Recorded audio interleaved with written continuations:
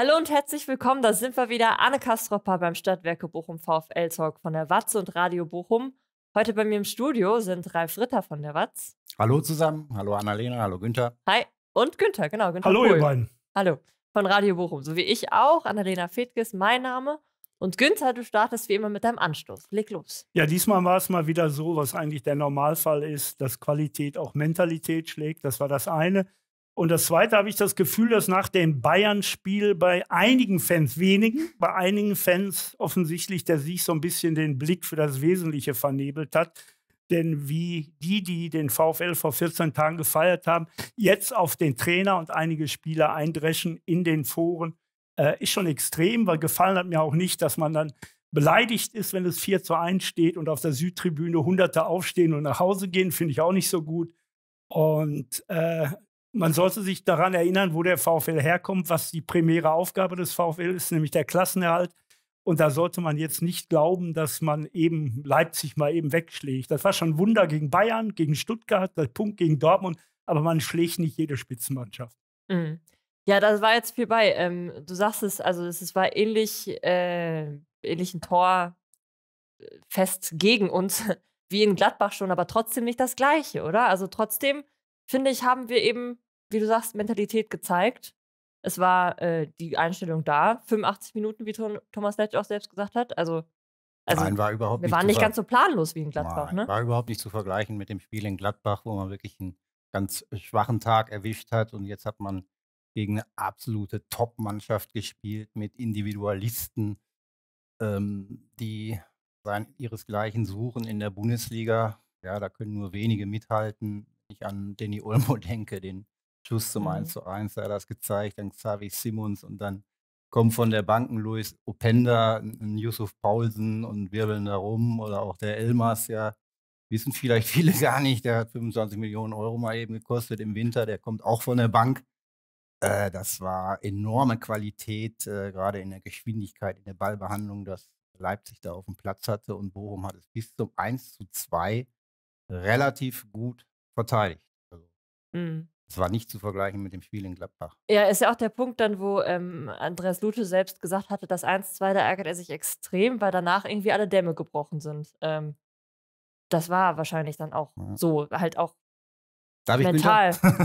Also zunächst mal ärgert er sich über sich selbst, weil den Klar. Schuss hätte halten müssen, muss man leider sagen. Ne? Können eher müssen. Mhm. Ähm, gingen aber auch Fehler äh, voraus. Also war jetzt nicht nur äh, auf Lutes Kappe dieses Tor. Und dann hat man zwei, drei Minuten komplett die Ordnung verloren. Das äh, darf natürlich nicht passieren. Wie gesagt, diese drei Spieler wurden eingewechselt. Openda, Pausen machen letztlich den Unterschied, aber trotzdem muss man da äh, konsequenter dranbleiben. Es gingen immer Ballverluste voraus. Beim 3-1 war es dann, dann Wittek. Beim 2-1 waren es vorher Losli und, und Stöger. Und da stimmte gar nichts mehr. Und ja, Mhm. zack, zack, zack war das Spiel gegessen. Hofmann könnte noch das 2-4 machen. Ich glaube nicht, dass es dann zum Punkt gereicht hätte, aber Handelfmeter hätte man kriegen müssen auch. Wäre ein bisschen Ergebniskosmetik, wäre auch gerecht gewesen. Also ich würde sagen, der Sieg von Leipzig ging in Ordnung, aber viel zu hoch. Ja, absolut, oder?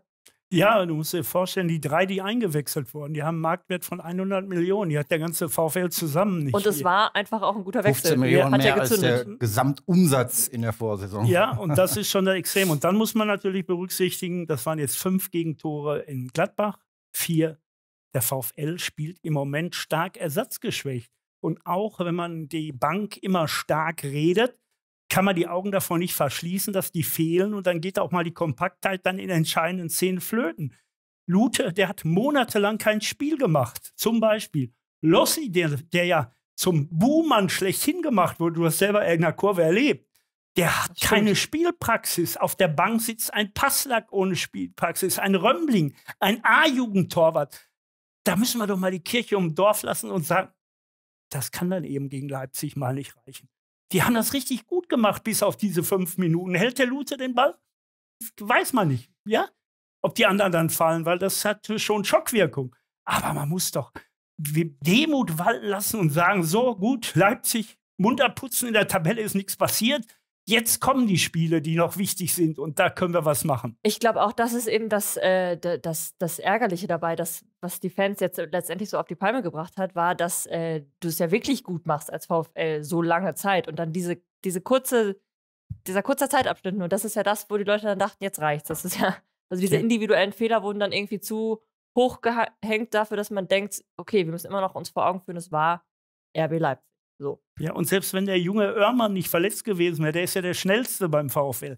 Selbst der hätte Probleme gehabt gegen Openda. Das ist einfach, mhm. davon gibt es in der Bundesliga keine vier. Mhm. Ja? Und da muss man eben sagen, okay, ja, der nächste Gegner kommt und dann sieht es wieder anders aus. Aber äh, was da und ich sag dann, dieses No-Go, aufstehen, nach Hause gehen, dann so tun, als jetzt bin ich beleidigt persönlich, hilft kontraproduktiv. Das gehört sich auch einfach nicht, oder?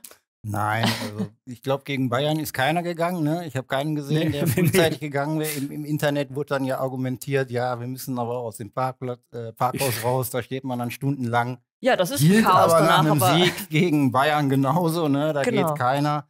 Äh, fand ich auch nicht, nicht gut von den Fans, die gegangen sind, muss ich sagen. Ähm, aber die Mehrheit, Günther hat ja auch vorhin gesagt, zum Glück nur einige sind das ja immer und äh, was diese Poster sind im Internet, die immer komplett draufhauen, da habe ich sowieso äh, so meine Meinung zu. Ich glaube, die Mehrheit ist dann gar nicht im Stadion. Und die Mehrheit im Stadion hat die Mannschaft ja nach dem Spiel auch danach gefeiert. Ja. Gefeiert ist vielleicht zu viel gesagt, aber mit Applaus bedacht, auf jeden ja. Fall positiv verabschiedet. Ja. Ähm, da ist alles in Ordnung. Auch Trainer Thomas Letscher hat hinterher gesagt, die Fans äh, in Summe waren großartig. Mhm. Ähm, die haben die beiden Teams also ein bisschen geweckt. Leider Leipzig dann letztlich ein bisschen mehr in dem mhm. Fall, als das Spiel so ein bisschen dahin tröpfelte. Ja, ja da sind die aufgestanden.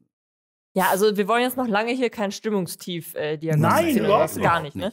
Also. Ähm, einmal aus Nostalgiegründen, das ist nicht das Spiel, was man Andreas Lutze gewünscht hätte, oder? Sein vermutlich letztes Spiel, vorausgesetzt, Riemann holt sich natürlich nochmal fünf ich sage, er Karten spielt noch oder eine. Ja? Ich sage, er spielt nochmal. Äh, ich will es nicht hoffen, dass sich äh, Manuel Riemann verletzt. Nein. Nein, nein. Oder, oder, mal krank fehlt. Äh, dann wäre das natürlich der Fall. Kann immer passieren. Ähm, aber ich gehe weiterhin davon aus, dass Bochum den Klassenerhalt vor dem letzten Spieltag schafft. Und ich könnte mir vorstellen, ah. dass äh, Andi Lute dann nicht von Beginn an vielleicht, aber wenigstens noch mal äh, zum Abschied ein paar Minuten bekommt. Und ich gehe davon aus, Andi Lute sehen wir noch einmal in dieser Saison im Tor des VfL Bochum. Das Spiel war maximal unglücklich für ihn. Ne? Total. Es begann total spektakulär mit einer Riesentat, absolute Glanzparade. Und dann musste er eigentlich nichts mehr so richtig halten. Und was auf sein Tor kam, hat Leipzig, das kam ja hinzu, die waren gnadenlos effizient äh, reingemacht. Beim zweiten hatte er seine Finger mit im Spiel. Ja, Ansonsten konnte er nichts machen.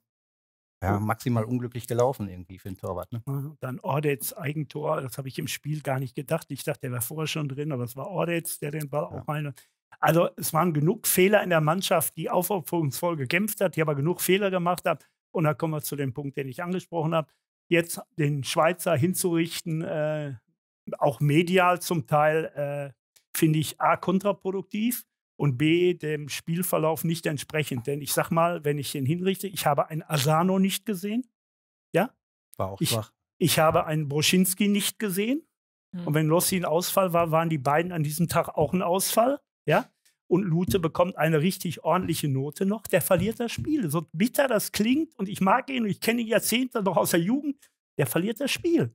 Ja, und der kann dann, der wird dann wohlwollend benotet. Und da muss ich dann immer sagen, wird da gewürfelt? Oder? Na, ich finde, jetzt nicht, nicht finde jetzt nicht, dass Lute hm? das Spiel verliert. Also das waren dann schon, Nein, wie schon erwähnt, bei allen Toren äh, waren auch andere mit im Spiel. Unter anderem bei allen vier Toren, das muss man auch sagen. Dann verliert auch Losli. Losli, ähm, nein, die Mannschaft verliert das Spiel, aber Losli hatte keinen guten Tag. Vielleicht hat hm. der Trainer ihm auch im Nachhinein keinen Gefallen damit getan, als Rechtsverteidiger aufzulaufen gegen das Tempo von Xavi, gegen diese Qualität. Da sah er schlecht aus. Er ist kaum in die Zweikämpfe gekommen, wenn der Ball auf seine Seite rübergespielt wurde. Und das hat Leipzig gut gemacht. Nicht zu oft, aber oft genug. Und dann war es immer gefährlich. Und dann hatte Losli ganz, ganz große Probleme, überhaupt in den Zweikampf zu kommen. Wenn er in den Zweikampf kam, hat er ihn meistens verloren. Seine Quote lag bei 26 Prozent. Das ist sehr wenig für einen Verteidiger und da finde ich die 5 schon gerechtfertigt von der Leistung. Ähm, aber deswegen ist er für mich auch nicht der einzige Spieler, der dieses Spiel verloren hat. Ja, Das ihn da ist so Blödsinn. rauszupicken. Ja, ne, ist ja, halt- richtig. Und das ist aber der Einzige, der mit der Note 5 benotet worden ist. Beim Kicker zum Beispiel. Und das finde ich absolut unmöglich. Wenn ein Torhüter einen entscheidenden Fehler macht, kriegt er normalerweise eine 5. Das ist eigentlich über Jahrzehnte so gewesen. Bei uns kriegt er plötzlich eine 3,5. Äh, fehlen mir die Worte, auch bei Asano und Boschinski. Ich will damit sagen, man sollte vielleicht damit umgehen, denn der Trainer wird jetzt massiv attackiert, weil er den gebracht hat. Ja? Erinnert uns eine Woche vorher, Gamboa verliert das Spiel eigentlich schon in der ersten Halbzeit mit beide Tore hat Gamboa die Aktien. Gamboa hatte die Aktien drin beim Gegentor gegen Bayern München. Äh, der Trainer hat Oermann nicht da. Passlack spielte keine Rolle. Er musste einen hinsetzen. Er lässt einen, der zweimal richtig geschwächelt hat, raus und bringt einen anderen, der schwächelt dann auch. Da fehlt es dann eben an Qualität. Punkt. Aber das, wenn du hast gesagt, Ralf, der Torhüter hat das Spiel nicht verloren, dann sage ich, der Schweizer hat das Spiel auch nicht alleine verloren. Nee, habe ich auch gesagt. Ja, ja. Da sind wir uns einig. Aber er war trotzdem nicht gut. Das habe ich auch nicht, das habe ich nicht einmal gesagt, Wie- dass der gut wie, gewesen wäre. äh, Der war schlecht, der war richtig auch. schlecht, aber da waren eben noch Vorne Nicht hast du angesprochen, Asano konnte sich gar nicht in Szene setzen diesmal. Ähm, Broschinski konnte sich nicht durchsetzen, weil Leipzig, äh, das muss man lobend sagen, die haben so viel individuelle Qualität. Und man kann als Bochum ja dann darauf hoffen, dass die nur darauf setzen. Aber das haben sie nicht. Die haben sich nicht äh, unnötig locken lassen, sondern ihre Nadelstiche vor allem nach diesen Balleroberungen gemacht, äh, wenn Bochum im Mittelfeld den Ball verloren hat. Wie erwähnt, da waren viele beteiligt. Lucia war auch ein, bei einem Treffer mit drin. Ja. Äh, Vitek war mit drin, der ansonsten, finde ich, ein gutes Spiel gemacht hat. Ähm, Stöger war mit drin, also auch absolute Leistungsträger und Stammkräfte. Bernardo beim ersten, ja, auch, der auch ein ordentliches Spiel trotzdem gemacht hat auf der linken Seite, das ja eh die äh, bessere äh, Bochumer Seite war. Das war ja auch der Plan. Genau. Ja. Also, ich finde es gut. Ich finde es gut, dass wir jetzt doch nochmal so einen positiven Dreh gefunden haben und nicht nur. auch nicht nur, äh, also. Und Gam Gamboa war in Gladbach, ja, Entschuldigung, unterirdisch. Ja. Und auch gegen Bayern nicht in Höchstform und davor hat Oermann gespielt. Ähm, ja, Tim Oermann, um es jetzt wieder positiv nach vorne zu drehen, soll diese Woche ins Mannschaftstraining zurückkehren und dann gehe ich davon aus, äh, dass er auch spielt. Und das ist ja eine ganz tolle Geschichte. Der war Leihkandidat im Sommer, kurz vorm Wechsel äh, auf Leihbasis nach Rot-Weiß Essen, äh, war auch Leihkandidat lange im Winter und jetzt ist er ein Hoffnungsträger. So Ja. schnell kann es gehen im Und Fußball. Stammspieler geworden, ne? Ja. Krass, ja. Ähm, ja, Platz 15 ist jetzt natürlich nicht mehr so ganz gemütlich, aber wenn man auf die Punkte schaut, immer noch voll okay. Weil der Abstand zum, ich meine, zum achten Platz ist genauso groß wie zum 16. Wenn ich mich nicht ganz täusche. Zum siebten, glaube ich sogar, ne? Das kann auch sein. Acht Punkte. Ja, und acht genau. Punkte sind es auf Hoffenheim. Also es ist doch noch und komfortabel. Also ich meine, in Sachen äh, Klassenerhalt, die- die Hoffnung nach Bayern, die, die ist doch, also ist doch keine tote Hoffnung jetzt, oder? Also absolut okay. Der Punkteabstand, äh, wir haben, ich kann mich kaum erinnern, dass wir mal so früh in der Saison so einen großen äh, Abstand zu den Abschiedsrängen hatten. Es ist alles in Ordnung, deshalb gibt es auch überhaupt keinen Grund zur Panik. Die Niederlagen sind erklärbar. Wir haben es ohne Wenn und Aber. Ich wiederhole es nochmal. Leipzig überragende Qualität. Da mussten wir passen. Gladbach war mal ein schlechtes Spiel. Aber ansonsten spielt der VfL Bochum äh, über seine Verhältnisse. Ja? Und Platz 15 ist das Saisonziel. Und das hat man erreicht. Und wenn man guckt, wer in welcher Gesellschaft wir uns befinden, mit welchen Vereinen, die entweder punktgleich mit uns stehen oder einen Punkt mehr haben, dann muss man sagen, dann kann der VfL nicht so viel verkehrt gemacht haben. Wolfsburg, Gladbach, Union Berlin. Ja. Gut für den VfL. Ich glaube, das war das Beste am Wochenende, dass Mainz sein Heimspiel nicht gewonnen hat gegen, äh, gegen Gladbach. Das wäre ja vielleicht denkbar gewesen. Mit nach der- dem Verlauf der ersten Halbzeit vielleicht sogar zwingend. Ja. Ähm, Mit mit Darmstadt haben wir wird Mainz den VfL nicht mehr einholen können. Und ja, Köln Da- hat verloren gegen Darmstadt ist der Leverkusen. erste Absteiger für das Darmstadt. dürfte sich erledigt haben Ja. und dann gucken wir mal. No? Der VfL hat jetzt Freiburg und dann kommen die Big Points in Köln, in Mainz. Der ganze Keller für- als Restprogramm, ne? Ja. Da würde der VfL, also in Köln und Mainz, würde dem VfL jeweils ein Unentschieden reichen. Und Heimsieg gegen Darmstadt. Darmstadt, Darmstadt und vielleicht ein Heimsieg gegen Heidenheim. Dann bist du schon ganz, ganz nah dran. Aber eben die Punkte, da zahle ich jetzt auch für, werden nicht hier am Tisch vergeben, sondern auf dem Platz wow. Sonntag 15.30 Uhr. Wie viel zahlst du? Ich zahle. Ich finde, das ich kostet spend, 10 Euro. Ja, die spende ich. Also ich habe kein Hätten Problem, das an, an, Lichtblicke zu spenden. Überhaupt kein Oder Problem. so, genau. So machen wir es. Sehr gut. Wie viele Punkte sollte es denn geben, eurer Meinung nach, aus den nächsten vier Spielen? Freiburg, Mainz, Darmstadt, Köln. In der Reihenfolge. Fünf. Mhm. Ich würde sagen, da ist sogar noch ein bisschen mehr drin. Also ich finde, gegen Freiburg äh, muss man nicht gewinnen. Man ist nicht der Favorit, aber zu Hause ist 50-50. Gegen Freiburg waren immer enge Spiele zuletzt, auch wenn die letzten fünf Pflichtspiele leider verloren gingen, aber teilweise auf sehr unglückliche Art und Weise. Da ist noch was Kommen offen, wir vielleicht ne? noch. also da sehe ich auf jeden Fall einen Punkt, ja. vielleicht auch einen Sieg. Ja, Bochum bleibt heimstark für mich, auch wenn es jetzt vier gab gegen, gegen Leipzig. Haben wir ja darüber gesprochen, wie das zustande kam. Ähm, ja, und dann haben wir eben, habe ich ja eben schon gesagt, Mainz ein Punkt und in Köln ein Punkt mhm. und Darmstadt Heimsieg, da haben wir fünf Punkte und gegen Freiburg ein bis drei Punkte. Also okay. sechs bis acht. Okay, das ist ja. Und dann ist der Deckel eigentlich auch schon drauf. Ja, nach vier Spielen jetzt noch. Wenn es so Folge. käme, wäre der Deckel drauf. Okay. Ja. Soll ich meine fünf Punkte auch aufzählen? Ja, wir, gewinnen, wir holen einen Punkt gegen Freiburg. Wir haben, holen aus den Spielen in Mainz und Köln einen Punkt und gewinnen dann das Heimspiel gegen Darmstadt. Ja, das wär's doch. Das wäre doch was Schönes. Und wie machen wir das? Mit einem, also mindestens einen Punkt gibt es am Sonntag diesmal. Ja, äh, wir zu Hause gegen Freiburg. Mit einem geläuterten Riemann. mit einem ja. Masovic, mit einem Oermann, den habe ich Samstag gesprochen. Der sagte, er sei sehr zuversichtlich, dass er Anfang der Woche ins Training einsteigt und auch spielen kann. Äh, das sind schon mal ganz wichtige Leute. Und vielleicht wird der Trainer jetzt auch mal vorne was ändern, denn äh, mittlerweile ist Broschinski völlig abgetaucht. Ja, da wäre ich auch in den letzten zwei, drei Spielen konnte er sich äh, nicht mehr so in den letzten zwei Spielen durchsetzen. Und ein junger Mann, der dann den Step geschafft hat, auch gute Leistungen gebracht hat. Wir haben ihn ja auch gelobt. Und vielleicht jetzt mal wieder, es ist gar nicht böse, einfach mal eine Pause wieder benötigt und der Routinier Hofmann mal wieder zurück. Hofmann, ja. Auch wenn er den Kopfball leider. Ja, aber das nicht war okay, macht, gut gemacht. Da auch ein bisschen Pech dabei, muss ja. man ehrlich sagen. Das war, war eine Aktion, die war gut.